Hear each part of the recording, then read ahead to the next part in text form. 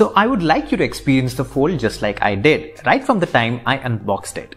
After taking off the two foldable sides of the box, you get to the smartphone. You would expect this one to ship with some sort of protective case, but nope, the extra box only has a SIM ejector tool and the guide. What you do get is a list of warnings on the plastic cover. You know, telling you to not go poking at the display. Taking the cover off reveals this phone in its full glory. You have the frosted glass back. Keeping that folded aside, we have the charging brick, the charging cable, and earphones.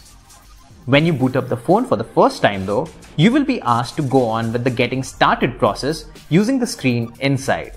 This was the first time I got to take a look at it and it's, yeah, it's, it's, it's really sick. A few more taps and there we go. The first look at that display fully loaded up. Starting with the secondary display that's on the outside of the fold. It's a 6.23 inch AMOLED panel and Samsung has stretched it all the way to the corners. This is mainly to have a quick glance at stuff so you don't have to bother with opening and closing the foldable display for every single notification.